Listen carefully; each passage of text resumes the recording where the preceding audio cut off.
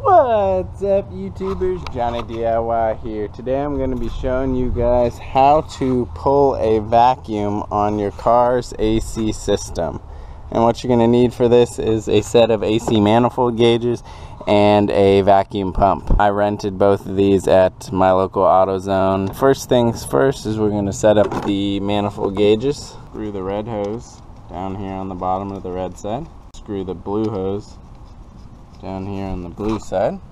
Now we're going to screw the yellow hose on right in the middle. Now they got these little connectors. These are going to snap into our high and low sides on our AC system. And we'll put the blue one right on the end of the blue hose. And this red one right on the end of the red hose.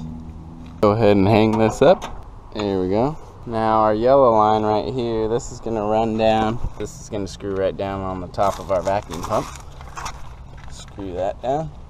Now we got to put these on the high and low sides of our AC lines. On this car, the high side's right here. And uh, just snaps on. You don't worry about getting these mixed up. The high and low side, uh, these will only fit on the high and low side ports, so you can't get them mixed up. If you have trouble finding these uh, AC lines, this is your AC condenser right here in the front and the AC lines will be coming out usually one on each side. And you can just follow these lines to find the ports. And the ports usually have these little caps. Here's the low side over here on the left. Snap that one on. Okay now you want to make sure that these are in the open position. So on these you turn uh, clockwise to open these ones right here there we go. Okay, now on our gauges here, we want to make sure these are closed, and these just turn regular. Clockwise will be to close. Make sure these are closed to start out with. Okay, so this vacuum, you can you're gonna do this to check to see if you have a leak. We'll pull a vacuum, then we'll hold the vacuum, and if it holds that pressure, that means there's no leak in the system. But also, you need to do a vacuum on your system if you're going to recharge it and all of your refrigerant is out because you can't have any air in the system. So here, up here are gauges, little green part right here from 0 to 30. That's going to read our vacuum. So now we go ahead and turn on our little Ghostbusters ghost catcher. You know it totally looks like it. Okay. Now we're going to open both the low and high sides of these.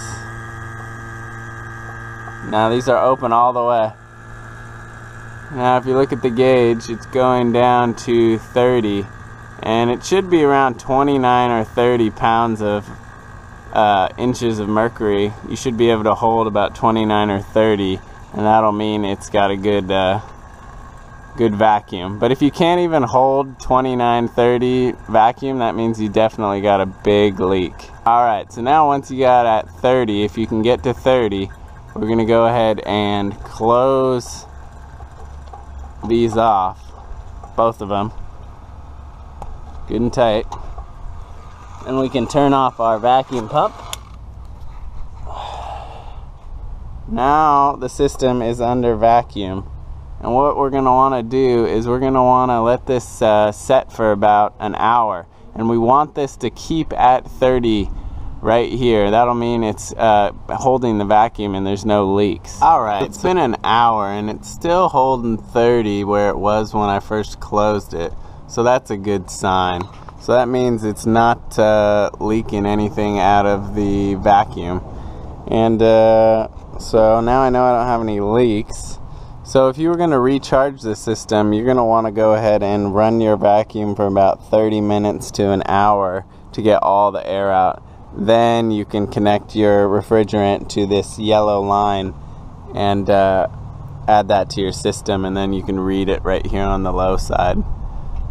Alright, and that is how to vacuum your AC system out guys. If you guys like this video, give it a thumbs up for me, uh, comment, like, uh, check out my other videos. I'd really appreciate it. Thanks for watching Jonny DIY. Keep on doing it yourself, guys.